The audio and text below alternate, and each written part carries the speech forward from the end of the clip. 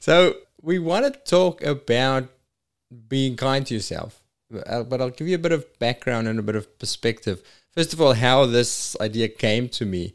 Uh, I did another podcast with a COO of the company that I work for, so a big group of vet practices, uh, Jody McKinnon, and, and Jody's a she's a very high performing, very driven person, very efficient, effective person, and also expects a lot from the people in the company. And then when I did the interview with her, I asked her what's her biggest challenge in her role or what would she like to change. And she said, helping people to be kinder to themselves. And I immediately thought, mm, there's, there's an interesting one. And immediately thought of you because I've seen you talk on this topic uh, really power and in a really powerful way. And it is a big thing. It's a big thing in our profession. I don't know how much you know about the vet profession, Philip, but um, I feel like we're the perfect cohort for people who are going to be hard on themselves. And it starts at school already because you don't get into vet school without doing really well at school because you've got to get the marks. So there's so there's an inherent sense of self discipline and drive. And then it's vet school, university is really tough. You don't get through university without you don't do it by being soft on yourself. That's for sure. And yeah, and then yeah. work as well. The work environment it almost it demands a, high degree of conscientiousness and you know show up and do your stuff and sometimes shut up and don't whinge and get on with it because if you drop the ball, mistakes happen. If you drop the ball, you ditch the rest of the team and shit. So, you know, yeah, be kind to yourself, but but also self sacrifices so it gets rewarded in the in the profession.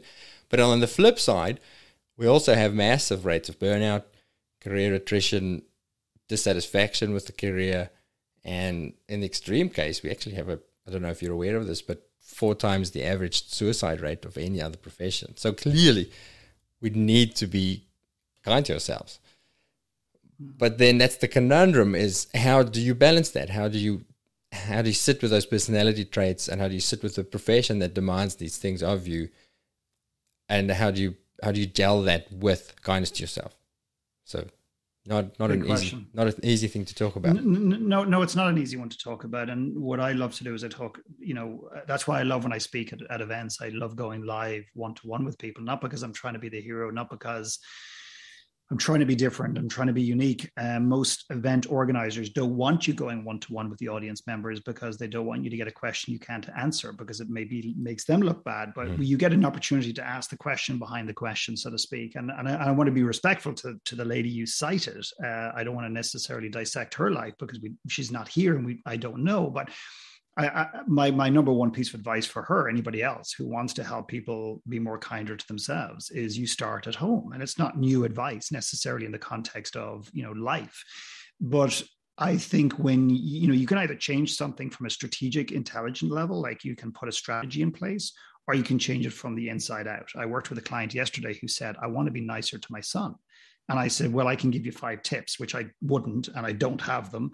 But I said to him, I have five tips to give you that you can do today that will will show some results, or we can change how you feel about yourself and therefore how you communicate from the inside out to your son. So you don't have to worry about strategies and tips and everything else. You tell me which one you want.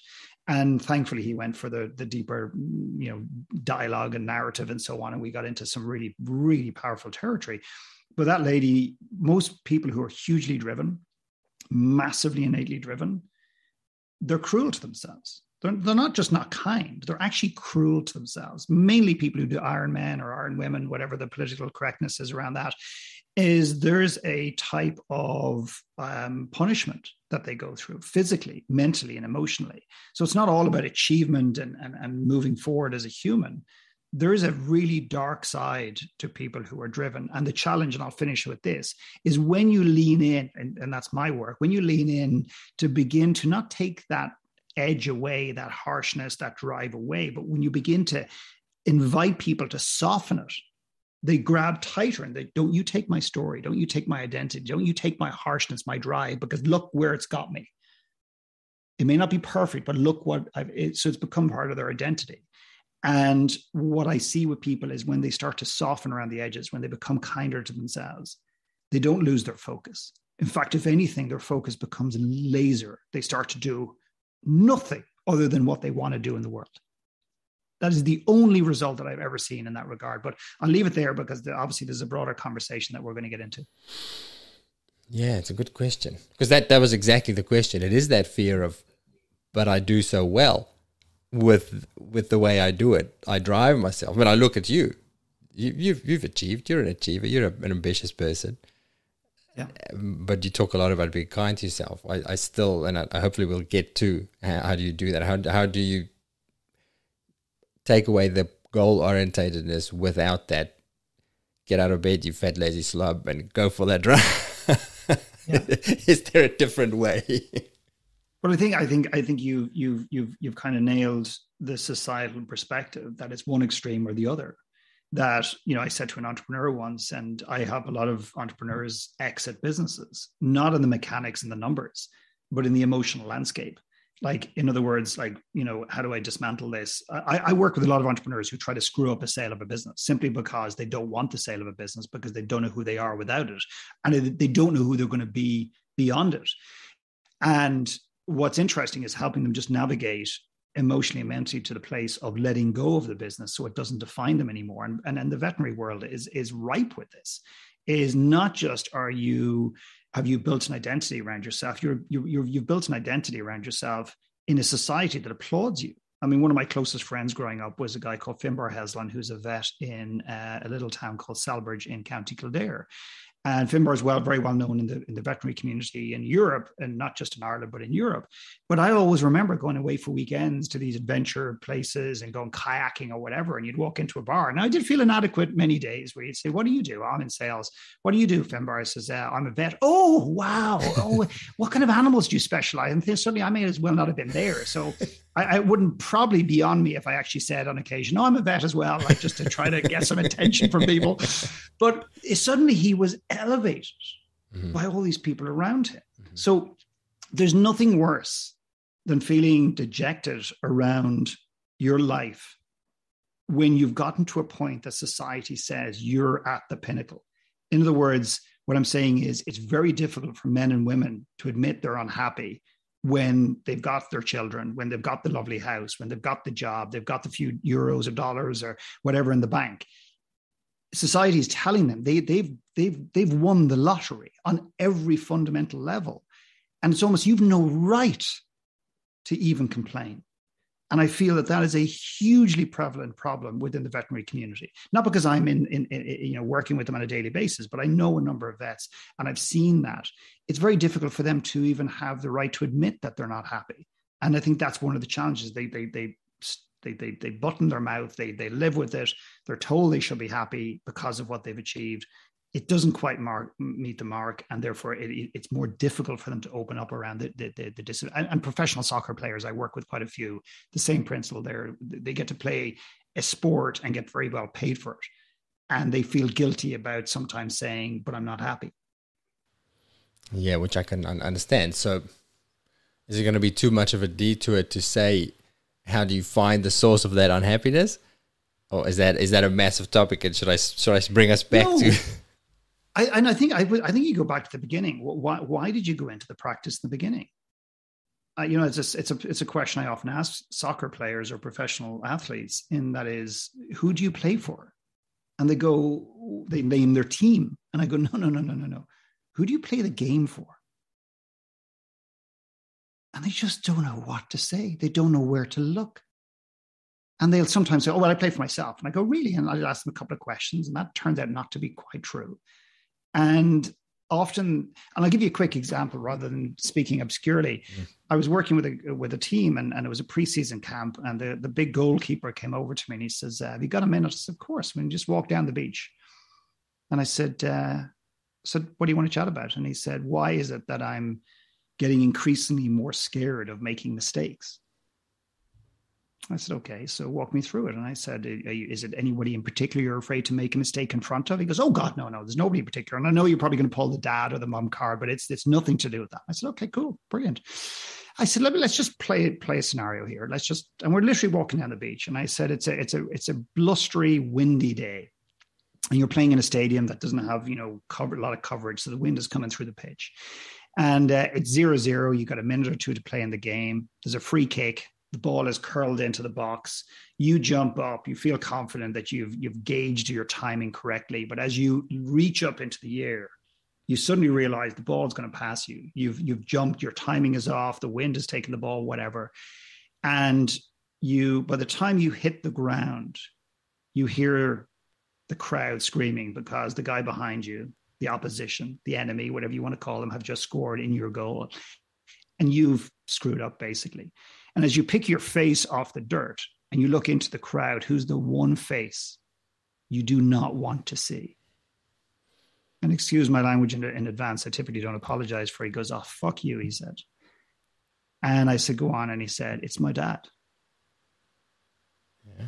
This is a grown ass man, and I don't mean that in a judgmental way, mm. who is completely unaware that at the ripe old age of 31 or 32, as he matures into his career and is beginning to come towards the end, he's still playing the game. He's still playing literally the game of chase in looking for approval of his father. And I think, on a very basic level, if your listeners could just stop and ask themselves, who did they do this for? Who did they start doing it for? What are they trying to achieve? Not, not the noise, not the stuff below. Go, there's a question behind the question. And there's always a question behind that. And I think if you can reconcile that one, I think you have an opportunity to own what you do and do it the way you want to do. Because you did say earlier on, and I don't eh, disagree, but I do disagree that it's a it's it's it's a career or it's a path that demands from you. There's lots of demands in my time. It doesn't mean i say yes. It's a choice. And you can't choose to say yes or no to demands when you're playing for somebody else. But if you're playing for yourself it's a very different animal. It took me 40 something years to try to figure that out. I used to think i was here to help all these other people and i am here to do that but not to the detriment of my own soul So, in your experience, the the lack of kindness to yourself, did, is it normally the the parent thing? Where, where, where, does it? Where's the wound? Where does the wound mostly come from? Because I, I I look at myself and I I can say hand on heart, but I don't know. Maybe I haven't gone deep enough. But but I certainly never felt uh, excessive judgment or harshness or anything from my parents. I had a I had brothers. They might have been a different story, but but when I'm harsh with myself, I don't ever hear the voice of my dad or my mom. Mm. Uh, and, and, and, and, I'm not, I'm not, I'm not, I don't want to come across that, that, that the source of it is always your parents, mm. but your parents influence it. Mm, and your parents influence it by not just by what they say, but what they don't say. Okay. So I literally was working with a man last week and, and, and, and I said to him, I said, tell me about your childhood. It's the starting point. When I do private work, I just always start with the first session is I just want to understand your story. And therefore, I want you to begin to understand the narrative, all the things you've been through that have formed who you are today, that don't have to determine who you're going to be tomorrow. And they do unless we're aware of them. And he said, really happy childhood. And I said, well, I've heard that one before. And, and I said, according to who? And he said, well, according to me. And I said, well, in that case, you won't mind if I ask you a few questions. And he was very quite defensive. And and when we got to some moments of let's just call them maybe weaknesses in his in in in his parents' parenting style, he would justify and rationalize it by, but my dad just did the best he could. Which I understand he did. And it was a societal thing back then or whatever. And, and while both of those things are true, both of those things blind us from what actually was going on. And yesterday, I think we had a we had a follow-up call and I and and the, the conversation of shame came up and he goes, I don't really have a relationship with shame. I said, when when you when you begin to connect with it, when was the first time you felt shame? And he said, I was six or seven years old. I stole something from a shop. I showed it to my parents because I felt so guilty. They insisted on me going back to the shop, walking up to the shop owner and telling him what I had done, paying for the item, leaving it behind, whatever. Mm. Now, forget about whether the parents did the right thing or not. That's not the point. The point is, from that moment forth, he would feel immense shame when he did anything wrong in his life. It became part of his narrative, part of his identity.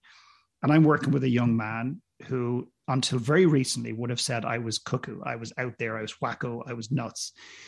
When I said to him, I said, You just don't really like who you are as a person. This has nothing to do with your industry. This has nothing to do with this. Nothing to do with the guy who just screws you over in a business deal. You just don't like who you are. And therefore, you give yourself what you feel you deserve. You have all the vision boards and all the goal setting. But really, it amounts to nothing because if you don't like who you are at the core and you walk through this earth, you will find ways to give yourself what you feel you ultimately deserve. And I know we're getting into very deep territory. I believe very rich territory, but very deep territory. Most human beings I work with don't really like there. And if you don't like who you are, there's probably no better profession to go into to try to write that than being a vet, being a doctor, maybe being a dentist. And my, my limited understanding of all of those professions, and I've worked with people from those professions, many of those professions have the same challenges that you outlined at the very beginning of this call disconnectedness within the industry, attrition, suicide, depression, alcohol, drug abuse, all these different things. There's a reason for that. No matter how much giving you give, no matter how much, even down to the last drop of blood that you give to your clients, it's never going to make up for the disdain, the dislike, the distrust that we have within our souls towards ourselves. and I can feel that so heavily because not just do I see it every day, I can feel it in my own story because as much as I'd love to play the hero here and, and be seen as the guy who's dedicated his entire existence to helping people, it's true. Mm. But there's also a deep selfishness to that because I was trying to make up for my own gaps, my own holes, my own inadequacies, my own shame. So I think when people say I, I, do it for the love of animals, I do it for the love of people, whatever the story is, I, I know that's partially true. Mm-hmm. But there's also something that drew you there, whether it's following in your parents' footsteps, whether it's trying to impress somebody, whether it's societal pressure. But I also think there's a sense of selfishness is not the right word, but I'm going to use it because I can't find a better one right now. But there is a, a self selfishness about why we're doing what we're doing, but most of us are not in touch with it. We're not honest about it. Is it a case of uh, wanting to be the hero in your story? So there's yeah. a, there's an inadequacy or something that you feel, and you go, "How can I, how can I prove to the world and therefore to myself that I'm the hero of this story?" Does that yeah? Does that make sense? Yeah, and I'm a good I'm a good person. Yeah. And yet the cruelness and, and you and you've got to be quite astute with your listening and, and more importantly hearing. You know what i do is i don't listen to people I, I hear them. At least i try my best to hear them and it's not even what they're saying to me because most people are trying to say something and they're trying to convince themselves. And sometimes they even get past the first layer of my spidey senses and then sometimes i find myself going do you have you have you heard how you speak about yourself do you, do you know how you hold yourself in the world? And if you listen really, really carefully, you'll find that that disdain, that dislike, that distrust that comes out in people is there and it's embedded. And therefore, a lot of what they do on the outside is to try to compensate for that. And the reality is they need to shine a light inside and look at their lives, look at who they are, look at what they've done, look at what's been done to them, and to reconcile that and be at peace with that and then therefore be at peace with themselves and then be at peace in whatever they do as a profession in the world. So, how does that manifest? So, let's say somebody's listening, maybe not me, uh, and thinking, "No, no, I don't, I don't think so. No, I, I don't think that's me," because we're very good at, at creating that story to the point where, and, and especially vets, we're very clever and can can reason our way through things, and and very good at lying to to ourselves probably what does it what does that disdain how does it manifest how do you recognize it as oh shit yeah maybe maybe philip's onto something there well i mean disdain sounds like a very harsh yeah. very okay. big word yeah. so uh, you know i want to just name that out loud that it may not they may not be in touch with the disdain and and and you cited something you know uh, not just have people who have gone through veterinary school had to be hugely um, disciplined and and and like just turned on and and it, you know really really intellectually engaged to get through the, the level of schooling they have to go through to be qualified as, as a vet ultimately. Therefore they are getting a, a, a societal reward not just in a piece of paper but literally a profession for being intellectual. Therefore, it's very, very difficult to begin to turn that down, never mind turn it off, and get in touch with what we're talking about, because this is not intellectual necessarily. This is more in the feeling space, the call it the woo-woo space, which is a nice way of saying it's bullshit, but but essentially it's more in the emotional space and if you find yourself at a movie which i did many years ago lassie 25 or you know whatever some actor dies or whatever and you find yourself crying a little bit disproportionately to what's actually going on in the movie it's probably nothing to do with the movie because the actor dog is is still alive and we all know or the actor that jumped off a cliff or was pushed off a cliff is still alive. Um, but you find yourself just being kind of oddly emotional at these obscure times and you cry what you're doing what, what that tells you there's a lot of emotion that you're simply not processing and you haven't given yourself the time. The other one i see is the expectations you, you alluded to this at the very beginning of the call with with somebody else but when you have high expectations on others it's a it's a direct reflection of the expectations you have on yourself. And that drive we don't want to take it all away but the reason you're being you're pushing yourself so hard is the fact that no matter what you do is never enough that's another indicator that there's a harshness that you hold upon yourself in the world. And it's always going to be the next mountain, the next hill, the next achievement, the next goal. It's always going to be that thing. And the way I often talk about it is you get to the top of the mountain and you look across. And uh, well, first of all, you stop for a brief second and go, shit, I thought it'd feel different. I thought when I got my veterinary practice up and running, this was the dream. I'm in Brisbane. I'm in a busy neighborhood. I've got my lease. I've put my little sign over the door. I have my first client walk. I, I thought it would feel different. What if, what's wrong? Oh, I, I get it. I didn't open one in Adelaide. And then the, the and then the one in Sydney. It, it's the chain I have. What was I thinking? Of course, it's the chain, and all the rationale that goes with it, growing for growth's sake. And then when you open the chain, then it's like, well, what's missing? Well, I've always loved. I've always wanted a coffee shop but let's well why don't i with the profits from the business assuming i have some i'll, I'll open a cup. and then it, well but but why am i feeling the connection well maybe it's my maybe it's my husband maybe i'm just sick of him maybe i need to upgrade him or her or whatever and it just never ever stops and hopefully before we die we look in the mirror one day and we go i think the problem is just internal and it's not even that big a problem necessarily. But what I'm talking about is actually very simple. It's not easy to do, but it's really simple work. I think we put a lot more complexity on it. And people go, well, that works hard. And I go, it is not harder than not doing it. I can guarantee you that. So, what does the work look like? The most important work I think any human being can do. In fact, I would go as far as to say I feel we have a moral obligation to do this work. If we choose to leave the couch, leave our bedroom, and walk out into the world and interact with human beings, we have a moral obligation to do the work on ourselves so that we can show up as a better human every single day. If we choose to bring children into this world or can bring children into this world, we have a moral obligation to work on ourselves so we don't pass our bullshit, our stuff, our subtleties. It's not all bullshit, these little subtleties, these nuances onto the next generation.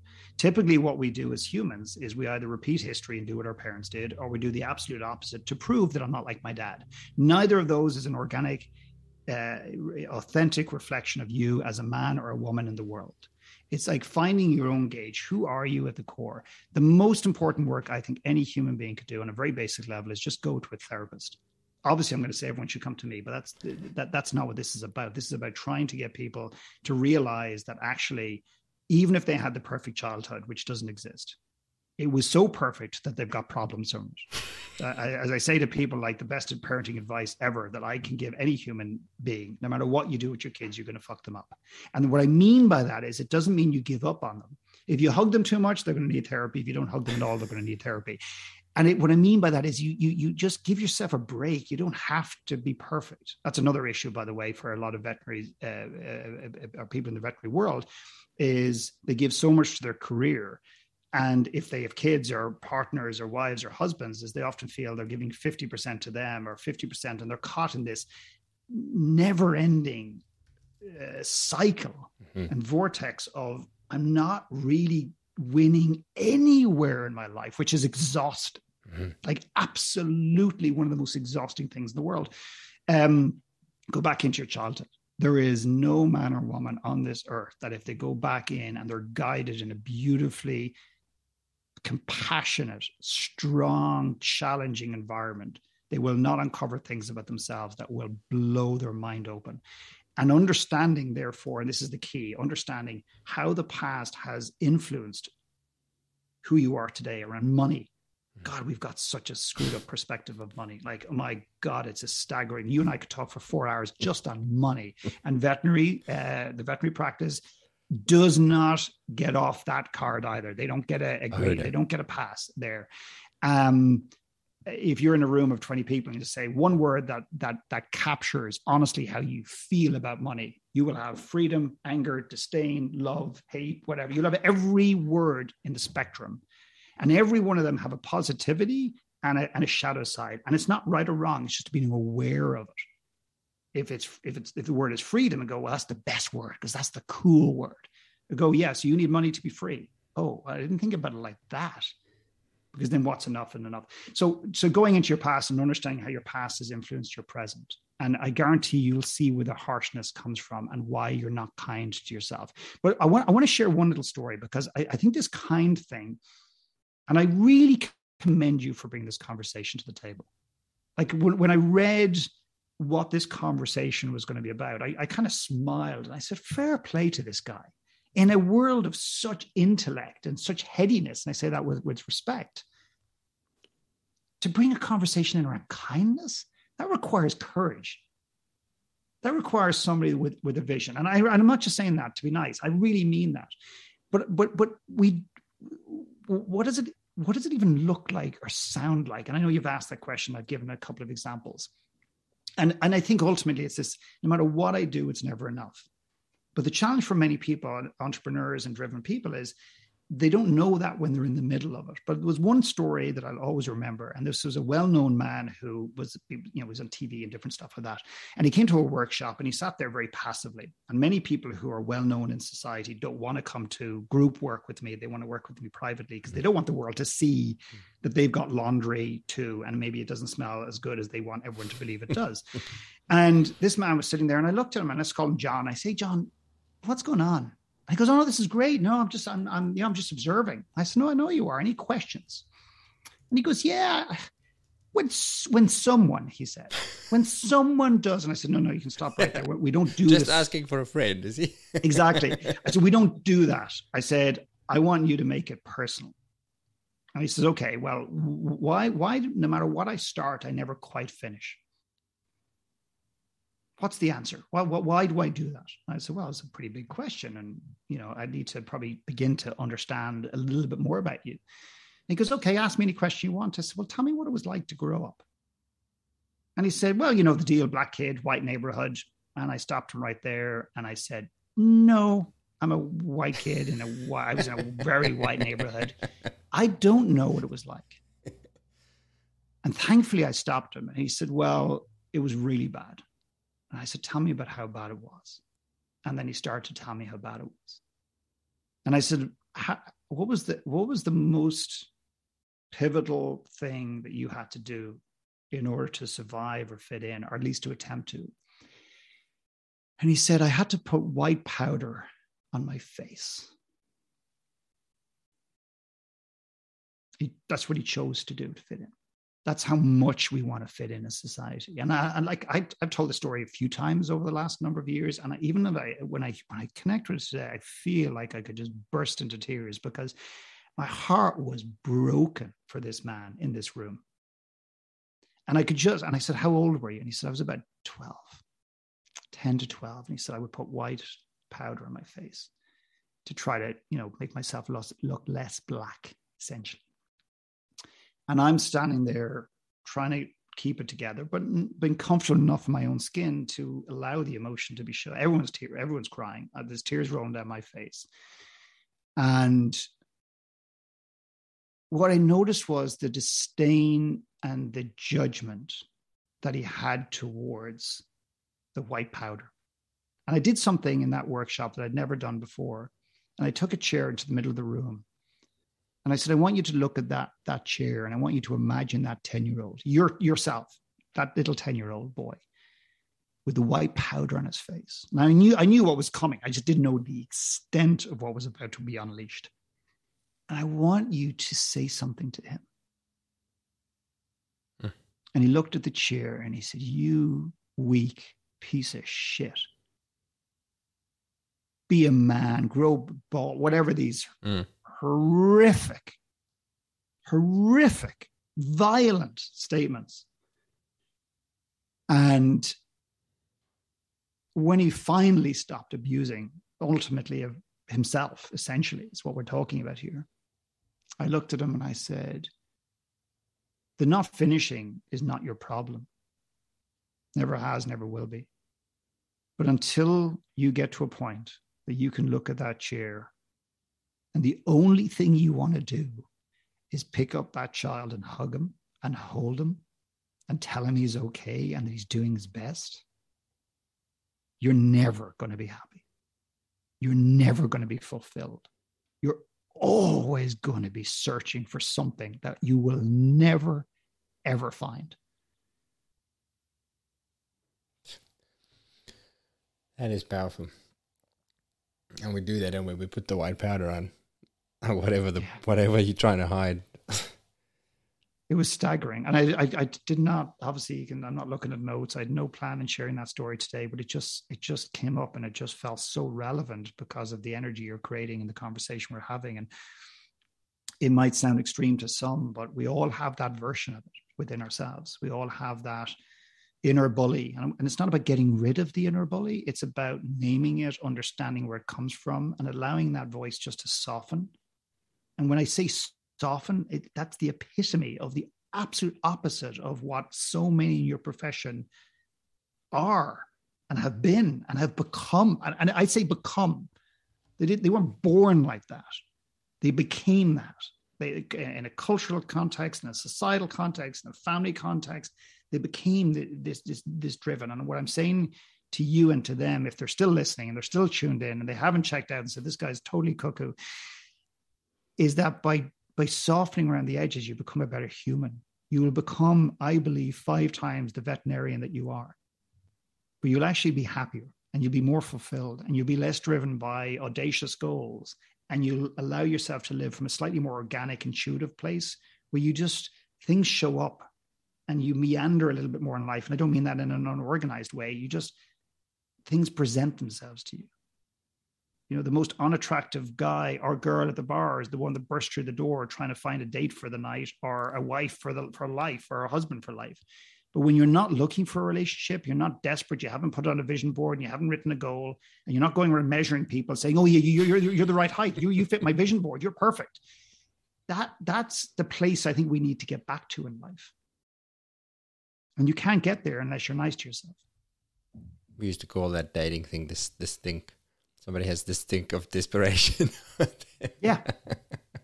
Exactly. Can't walking around with this thing. Can I bring up one other thing as well? Absolutely. And we, we don't have to go here necessarily. I trust you 100% on this. But this this idea that when you become a vet or when you become a vet and you own your own practice, or when you become a vet and you're working with the right company, fill in the blank, whatever the thing is.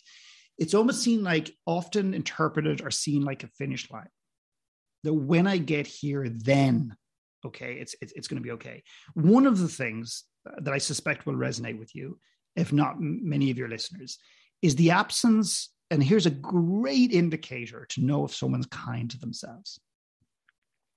What is it that you do or what is it that you used to do that you love that you've stopped doing? And they'll say something along those, well, I mean, I used to surf, I used to sail, I used to fish, I used to paint, I used to write poetry, I used to fill in, I used to watch movies. And what you'll find is many of your audience members have given those things up in the hope that they'll come back to them someday. But Philip, hang on. We've got a practice in, in Adelaide, remember? We've got one in Sydney, the new one, and it's it's hopping. We've got the one in Brisbane, right?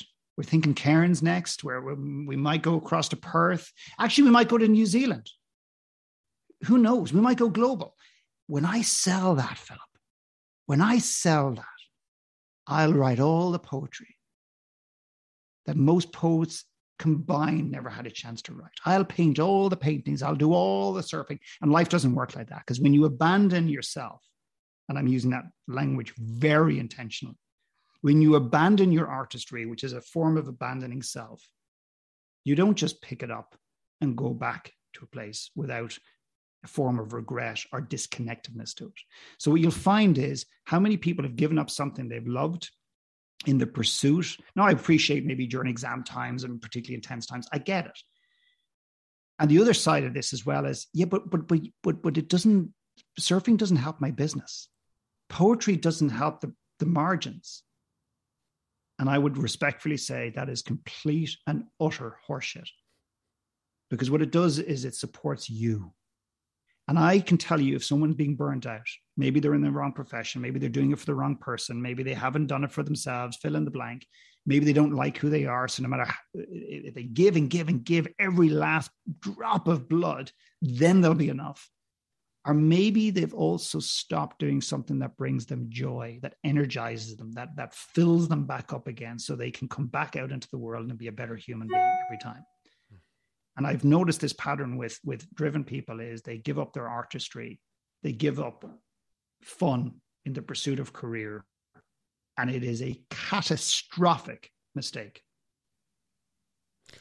You totally totally hit the nail on the head there because again, it's a as a rule, it's a wide, broadly talented group of people, and it, it it starts at university. It starts at vet school. You don't have time for the for the art for the singing in the choir, for the music making, for the for the stuff that fills your soul. Really, it becomes yeah, yeah. I'll, when I qualify, once I finish final exams, I'll do it. And exactly as you say, you you generally don't. You generally don't.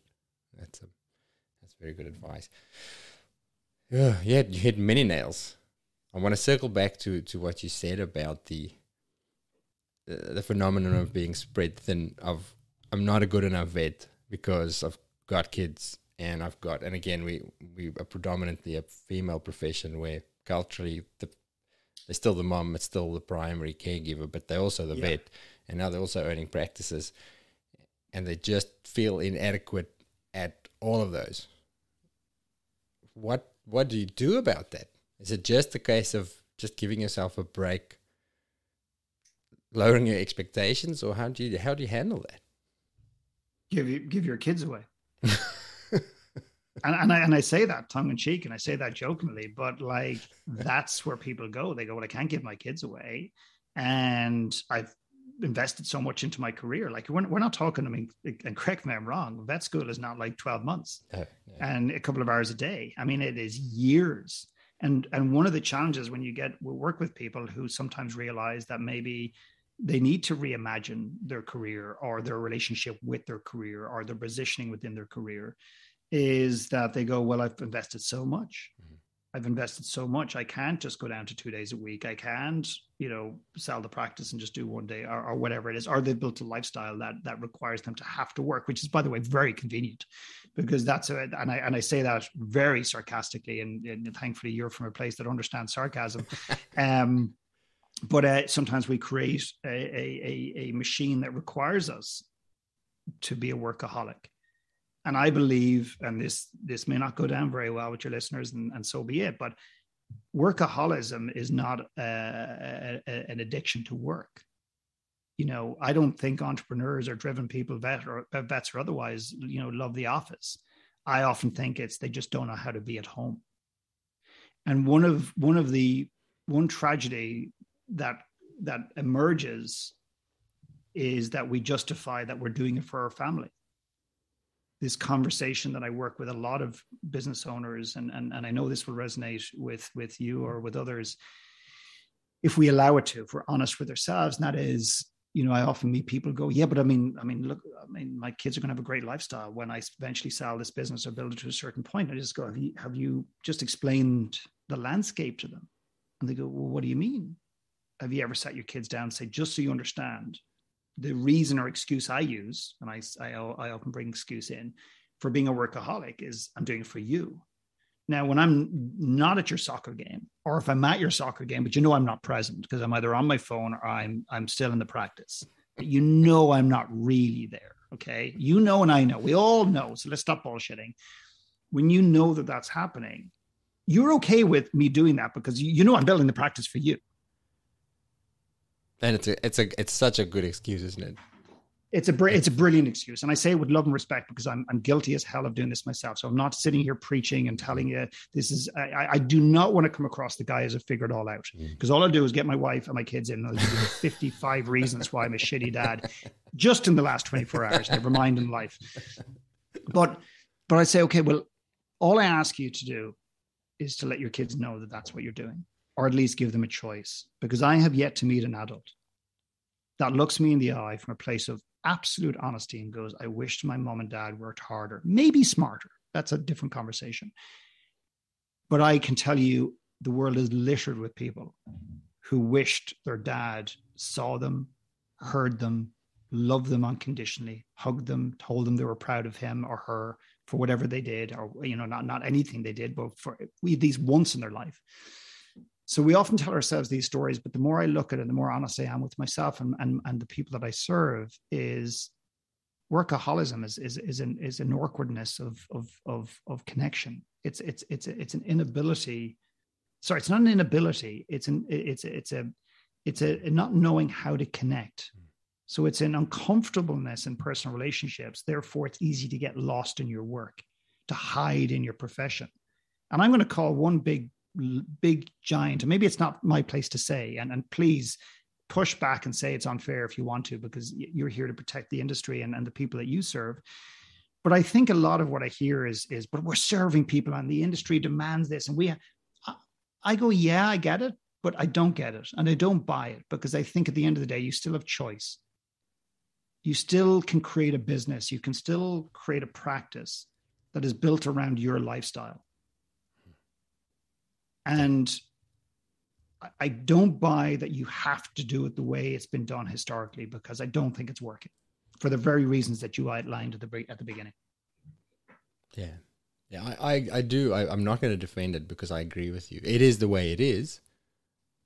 I try to be different, but you know it's hard to be different. It's really hard to be different. There's a, there's, a, there's a societal.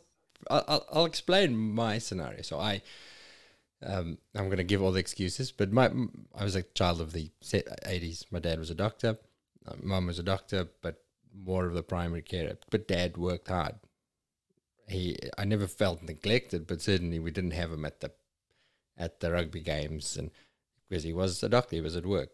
Um, and it generally, gen, I, I generally can say no resentment at all. I feel sorry for him that for what he missed out on, not mm. so much that I missed out so I'm on that camp where you say you're trying to be the opposite.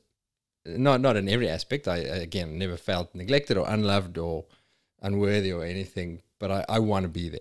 So I I've tried to shape my career in every possible way to not to be present. But then you do it and you feel guilty.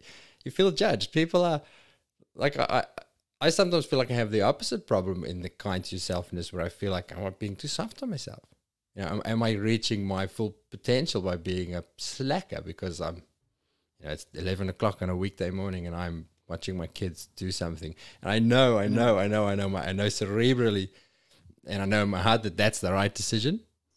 Yeah. But there's that little, well, big fucking cultural voice and, and, and in our profession, again, there's an expectation of, you know, there's almost a stigma to the world, to the word, and luckily that's changing, but part-time vet Oh, he's just a yeah. part, just a part-time vet. He's just. not a real vet. can, can, I can I just be excused for one second? This door is banging, of and course. I don't know if you're picking it up in the audio. No, not at all. Excuse me. I'm just giving my cool shorts away. I, I was looking um, at those. These are very cool. Yeah, no, they're they're great, and I've got the the little the little weird toe socks. Talk about being different. Every time I take those off, people go, "What the hell are you wearing?" Um, apologies about that, but but I, but I get that he's you know he just a part time vet. You know, when you ask, I often see this with women. You know, what do you do? I'm just a mom. Mm-hmm. That word "just" is is such an undermining, such an undermining word and I and again I commend you for for being different in a community that doesn't necessarily share or encourage that type of differentness, but it it is coming regardless, and I think it takes people like yourself to challenge the status quo. But I'm also imagining, and I, I could be off here, but the judgment maybe within the industry also comes from the fact that when you do something, you're inviting people to consider how they're doing it. So, uh, you know, the, the, the, the, couple that go to the dinner party and, and announce to their friends that they're going to homeschool their kids, and all the other couples, if this happens, the other couples jump on them and go, oh, well, they're going to be inadequate from a social standpoint and they, they're going to become recluses and this and that. Some of that might be genuine concern, but it's also if I don't attack this, I either have to reflect upon this as it relates to me being a parent, and am I doing the right thing by putting my kids in an institution that I may or may not even agree with?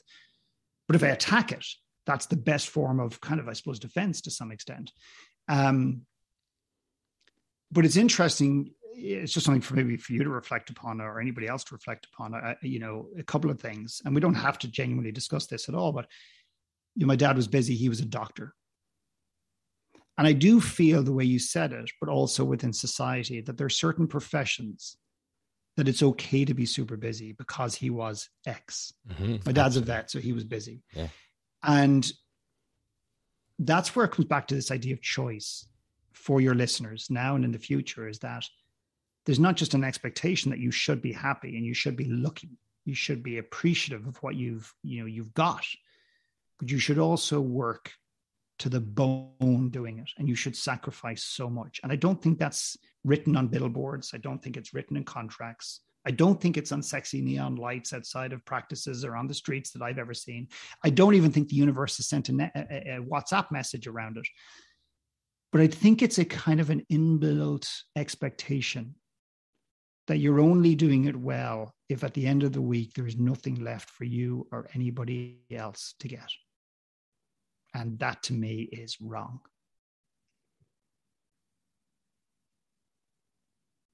And then people say, oh, hang on a second. I play 18 holes of golf every Friday. And I go, cool, brilliant. And how many of those 18 holes of golf do you think or feel guilty about not being in the office? Looking after Peggy's Pomeranian and Sue's strange cat from China or wherever the hell these different breeds are from. Obviously, I'm not a vet. I've just been exposed. But well, actually, I do think about that a lot. Well, you might as well be in the practice because the 18 holes of golf are doing you no good. All they're doing is invoking more guilt. Mm. Yeah, and I don't know. I don't know what's the solution to that because I say these things. I try and I try and be different, but now I've started this podcast thing. I've, I've, I've now I'm actually more engaged in what I'm doing. I'm enjoying it more, so I'm less present when I'm present mm. less exactly that guilt thing of yeah yeah I'm I'm gonna go for a walk with you, but I really feel like I should be editing my podcast. Yeah, yeah. That's I don't know how do you what, how, is that just a mindfulness thing? Well, I, th- I, what I love to do is I love to understand the origin of that. Like, what, what, what, what's the actual origin of that? And and I think in in in your case, I would respectfully say that there's some things you've picked up in in in within the profession you're in within the veterinary industry etc but there's definitely some fundamental cultural expectations not by what your dad said but just by who he was. And it's not negative. It's not to try to turn your dad into a villain. And often people say well what happens if i do discover that i wasn't I, I, you know, you said oh, I don't feel neglected or feel anger or whatever. But what happens if we we we do a deeper dive on it, and there is anger, and there is resentment, and there is sadness, and there is frustration? People go, well, that'll just piss me off, make me feel more of a void between myself and my dad. No, it's the actual opposite because whatever you feel towards somebody, it's playing out. You, you can't help but allow however you feel emotionally about somebody to naturally play out every moment of every day by not letting them see the grandkids or not calling over as much or whatever it happens to be. It always plays out. What I'm asking people to do is to be aware of actually what happened, what's happening, so you can begin to repair it, even if it's a one one way dialogue, even if it's just you doing the internal work. Sometimes it requires a conversation with the other person. There's many people who have parents, and we, you know we love this idea of a one last letter. This may or may not be useful to you or any of your listeners, but I love the, the, the one last idea is just simply a frame to try to create not urgency is always the wrong word, but a sense of let's just use urgency. And one of the most powerful exercises that I think any human can do is to write a one last letter to their parents. And the first letter is one of anger and frustration and judgment and negativity and everything else, even though they don't think they have it. And the letter will, will shock you often. Know I'm not angry. My dad wasn't at my rugby games. And before you know it, you're writing a letter and you're going, you, whatever, X, Y, and Z, you should have been whatever. I'm not saying that'll happen. I don't know, but I'm saying that it, it often does. You write the first letter and you, you, you the, the agreement is you write that letter you never reread it and you put it in the garbage. You burn it, you just get rid of it. And it's a form of letting go, purging a little bit. And then the second letter is a letter that you might contemplate actually handing to your father and or your mother. And I suggest that exercise for you, but I'd also suggest it for your listeners because it's a way of relinquishing the, the, the, the, the, tentacles of the past and how they've influenced who you think you are right now. I suppose that's the best way. And don't ask me to repeat that because I've never said that before. But to begin to release and relinquish this expectation so you can begin to own who you are now and build or rebuild. Sometimes it's not about getting out of the veterinary practice. It's not about becoming a baker. It's not about becoming a, a, a surf uh, instructor. It's not about necessarily abandoning the business. I think we, when we get to that point, we've left it too late we, we, we've exhausted ourselves to the point where we just can't contemplate another 10 years in this industry. I think if we're proactive in the process earlier on, I think we can we can avoid a lot of the disconnectedness. And I think the, the, the biggest piece of disconnectedness and lostness is when someone literally takes their own life because they're at such a place in their life that they feel that I believe often suicide is about believing the world will be a better place without you it's not actually the most selfish act. And I and I learned that from a gentleman called Professor Anthony Clare, one of the greatest psychiatrists that has ever lived. And I was very fortunate to travel around the world with him in Australia a number of times, etc. And uh, he he taught me about that. But that's the ultimate disconnectedness. That's the ultimate form of loss. But imagine if we had had a conversation with those people 10 years earlier or 15 years earlier, or God forbid, we actually bring it into the industry, into the curriculum, into the school and have that conversation. And there's there's one thing I want to share because when I worked with the U.S. military in in, in the U.S., I was brought in at different uh, military bases, and you know I'm I'm not an advocate of war or the military for that matter, but I love people.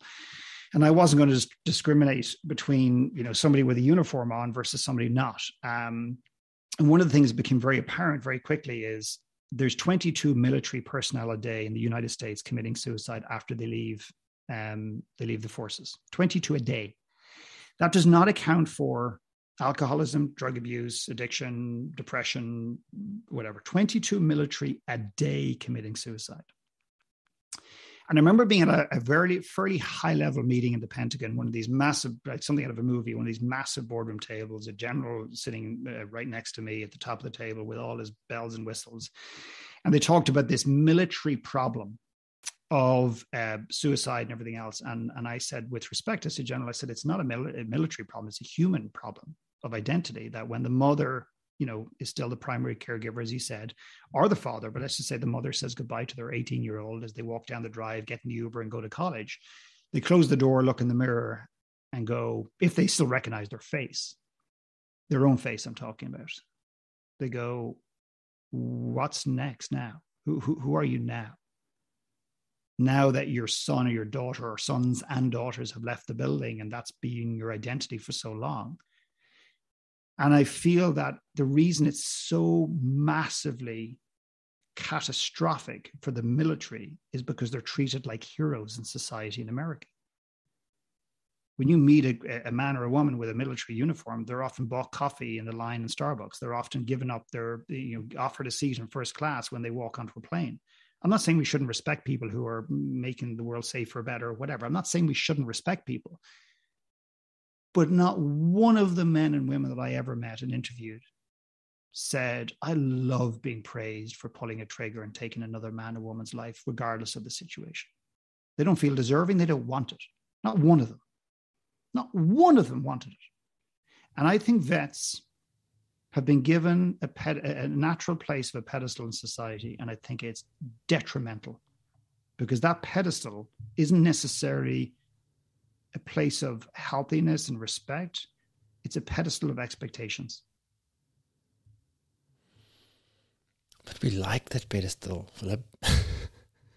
yeah, you do, but it comes with a cost. I'm just saying, just be aware of the mm. shadow side of it, mm. because when those men and women take their uniform off, they haven't just they haven't just stepped away from the military; they've literally lost their uniform, their identity. And when they put it in the closet, or it's taken back, or they burn it, or whatever it happen, happens to be. But interestingly enough, you go way back to the beginning if you ask many of the men and women in the service today, why did you join the military? I mean, I think this is fascinating. And this goes back to our point is who do you play for? Who do you, who do you practice for? They joined because of 9 11, anger, not the most authentic response in the world. They joined to follow in their parents' footsteps. Again, not the most authentic representation in the world. They joined because they didn't know what else to do not the most authentic represent, representation in the world? Are they joined because the military gives them access to healthcare and different levels of, of, of, of financial aid and everything else that no other industry would do? All of those, those four are, they're not sustainable. Or you might meet someone who did it because they really wanted to do it. And I only met one. Doesn't mean he needs to leave or they really need to leave. They just need to reimagine their relationship to what they do. Trying to draw a parallel to the vet profession. So the most common answer to that question is why do you do it? Is it is people will say always been always a lot of people have always known I was going to do it. I've always had a thing for animals. I want to work with animals. I want to help animals.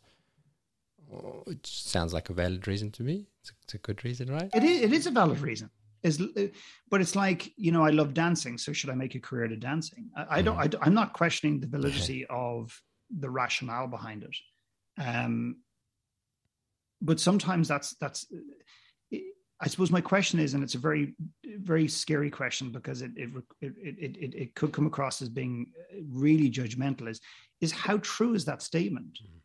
like how many statements do we make as human beings that if we're truly questioning them, I think the thing that I, I'm known for is is really challenging people to a very deep place so we can uncover the truth so they can rebuild from there.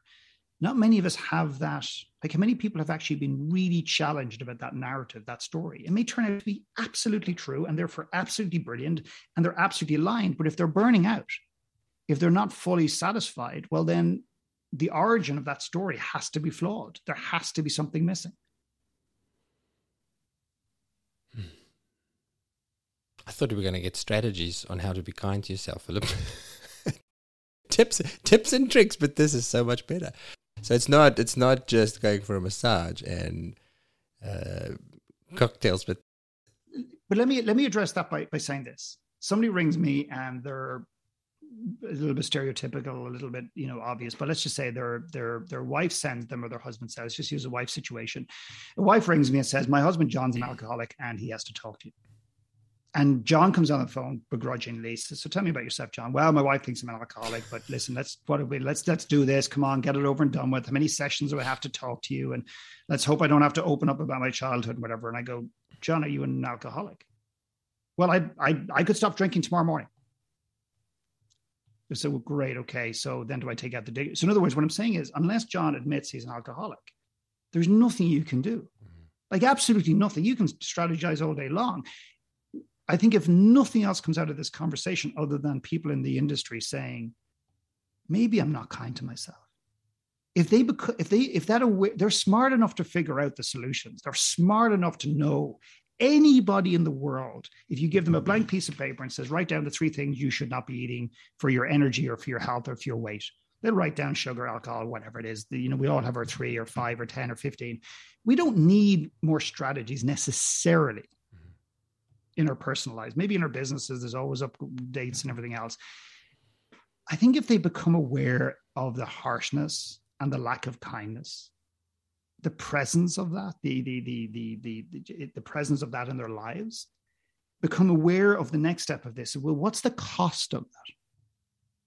Because often we say, "Yeah, I'm harsh. Yeah, I'm pushy. Yeah, but but but here's all the ten reasons it's epic." And everyone tells me they want to be like me, in fact. And, and, and I've just been on a podcast last week about how I'm so driven. What's the problem with that? Well, go great. Well, you know, do your kids feel supported? Are you, or no matter what they do, is it's never enough? You know, what about your wife? And I go, well, my wife's very happy. I go, well, is it okay if I phone her and ask her? Well, I mean, I, I mean, I need to. In other words, I'd phone her and ask her. Says he's an asshole. I love him to bits. He's brilliant, or her. But no matter what I do, it's never enough. It's insane. It's exhausting. I can. It's never enough. So to be aware of the presence of this of this thing, or the absence of kindness, the cost it has in your life, that's the piece that we tend not to look at. And then out of that comes the answer. It's like that's easy. How do I how do I become more gentle? How do I work on this? Do I need some therapy? Do I need to go on a retreat? Do I need to look at my past? Do I need to look at the the way in which I hold myself in the world? How can I soften a little bit? How can I be a better person so I don't put all this weight and energy and expectation on others?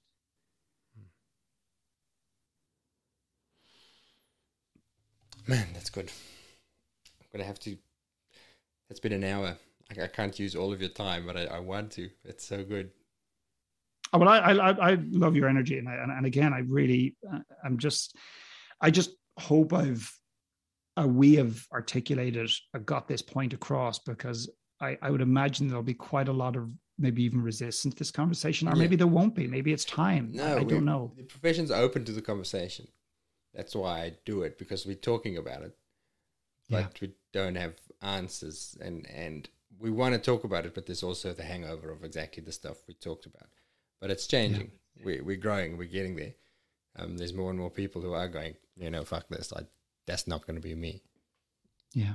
Um, I suppose that you know as we begin maybe to wrap up, but I, mean, I, I got an email yesterday from somebody out of the blue. It was actually a, a LinkedIn comment, but I I never almost never check it, so maybe it's three months old. I don't know, but it's so funny that this gentleman said, I, I, want to talk to you about doing an event or doing something with our team around vulnerability in the workplace.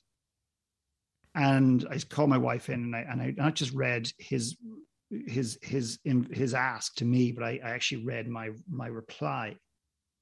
And we created this thing called team deepening, and it doesn't matter about the details, but team deepening is moving on from this idea of team building. Like you know, the, the you know, let's go potholing, let's go bungee jumping. That's I'm not saying any of those things are bad. It's just like we're looking for something deeper because most of us are, are most of our awake hours are in a in a working environment, and we're looking for that culture, right or wrong, to sustain us. And the stats and the history, or not the history, the stats and the science show that the number one thing we're looking for in a work community is connection not just with the people we work with and the people we serve, but within ourselves. We're, we're yearning connection. And if anything, this pandemic has shown us is that that's accelerated that, that need. And and I and I made it just a really honest comment to my wife is I think for years I've been trying to flaff around the conversation, trying to manipulate the language to to to, to not to sound too fluffy, not not to be judged because I want to fit in, I want to be liked, I want to whatever, like every other human being in the world. And I wrote back, this guy might run a million miles. I wrote back and said, there is no better way to connect with another human being other than vulnerability. In fact, every relationship on earth that has ever authentically deepened is found it, it's found it's founded in genuine vulnerability, not fake vulnerability to achieve something. Anyway, I just found myself writing this little piece kind of unapologetically. But there's two things I want to say about that. One is I think the world is is really shifting. The fact that we're even having this conversation tells you that. And the second thing is there is an absence, and I say absence, of vulnerability within the veterinary community. Yeah. And maybe absence might sound extreme. I, I don't think so, but there's an absence in certain quarters. It's an industry that feels it has to has the has to have the answers for obvious reasons, because we're talking life and death here. We're, we're talking about not making mistakes, all those things you cited at the beginning. But I think if I could ask ask gently and respectfully ask your your your listeners in the future is to find the find the place to be courageous to allow people to see a little bit more of your weakness because you have them and if you save 45 dogs this week and seven cats next week and 84 goldfish the week after it's never going to make up for it. You have your inadequacies, you have your insecurities, you have those moments. I'm not asking you to blast it all over the world. I'm not asking you to put it in neon lights. I'm not asking you to email it to your clients. Test it with a couple of people.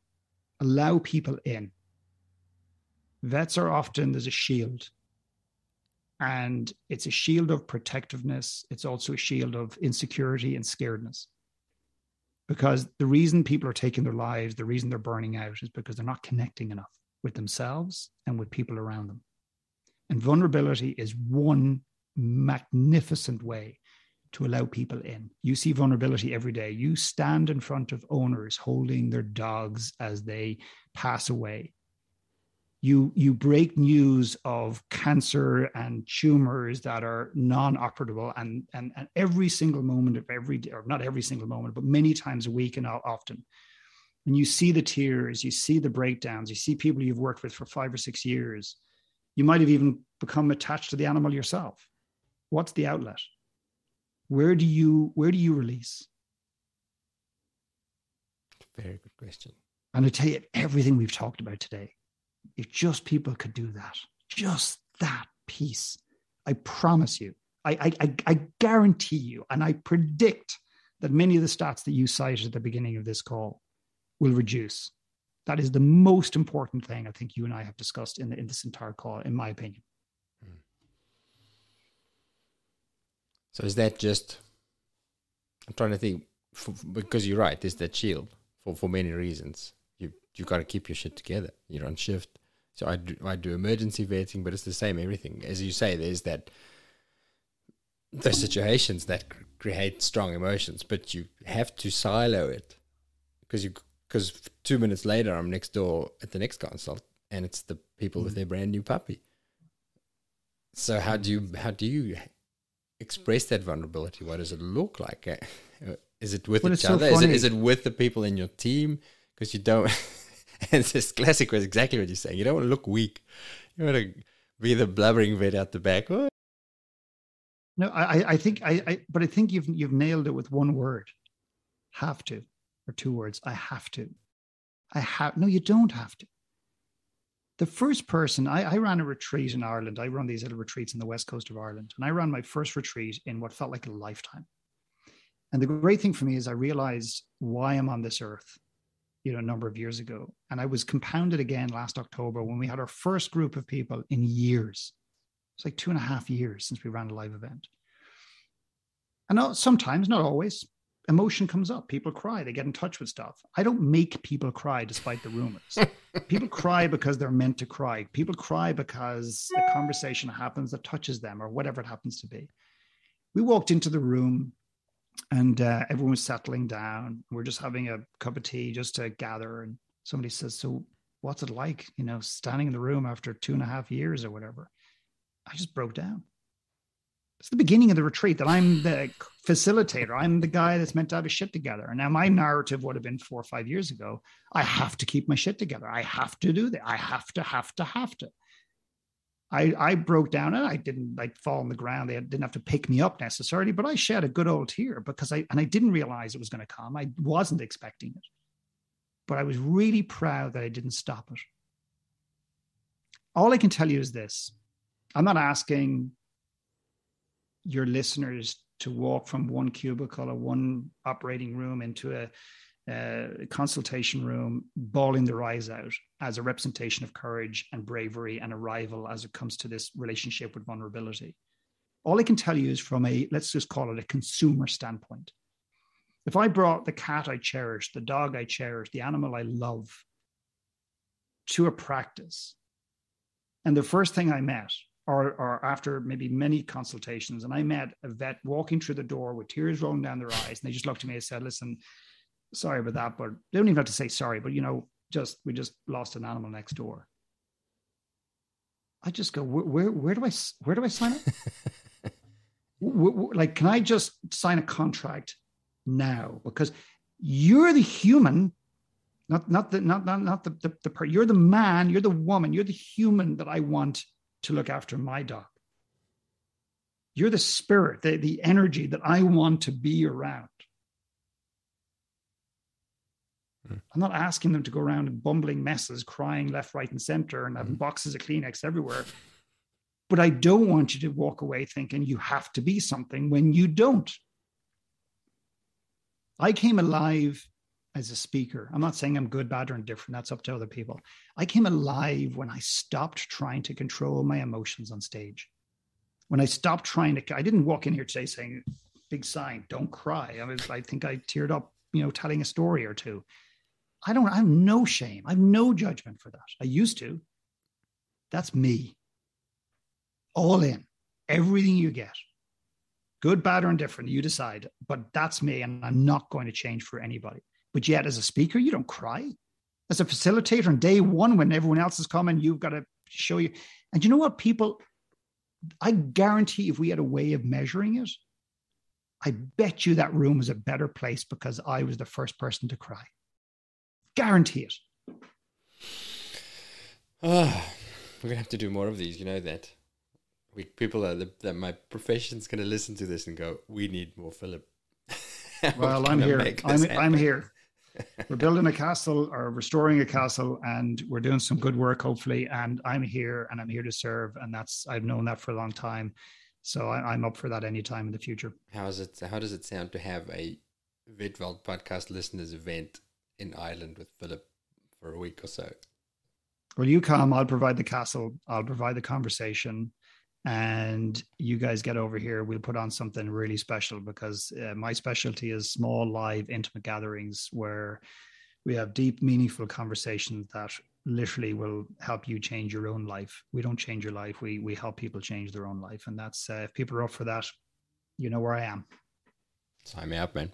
Philip, thank you so much for your your generous, generous time and and Rave, all the all the love that you bring to it. That's really fantastic. Thank you. Yeah, well, you, you know what? My work is only as good as the people that come, and and my conversations on podcasts are only as good as the hosts. And you are exceptional, and you are so courageous. And I and I you go back to any podcast I've ever done, I rarely ever say that. So um, I've really enjoyed you today. So thank you. Thank you so much. Recording stopped. Well,